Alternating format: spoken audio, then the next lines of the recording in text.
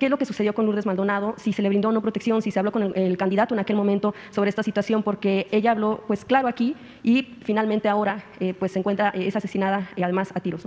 Sí, este, es muy lamentable lo que sucedió con la compañera. Pues eh, nuestro pésame a los familiares primero, ¿no?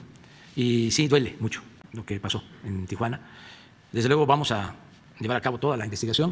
Ella estuvo aquí, en efecto, a principios del 19, a hacer una denuncia por un asunto laboral con la empresa eh, de radio y de televisión vinculada a Jaime Bonilla.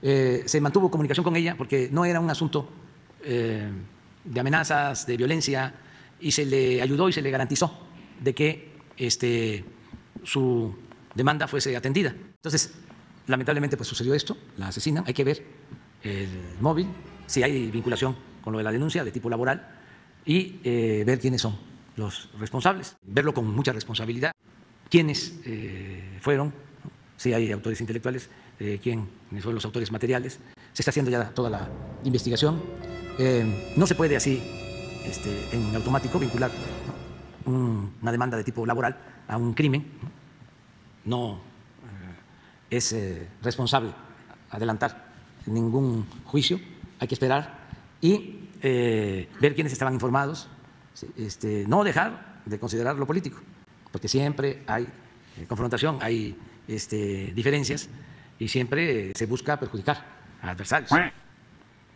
Entonces se tiene que hacer una investigación a fondo, se está llevando a cabo esta investigación, eh, como todas. Una característica del gobierno que represento, un compromiso, es que no haya impunidad, que eh, todos estos crímenes sean atendidos, se investigue y se encuentre a los responsables, a los culpables. Y vamos a estar informando sobre este caso. Y sobre todo, bueno, porque en pocos días también se dio el, el asesinato de otro periodista, Margarito. Está en México para que en el, en el ejercicio periodístico, en el gremio periodístico, se pueda ejercer con la garantía de seguridad y de libertad. Tenemos que seguir luchando para conseguir una sociedad mejor entre todos, una sociedad más fraterna, más justa, más humanitaria. No olvidemos, eso es lo único que pido, que veníamos de un periodo decadente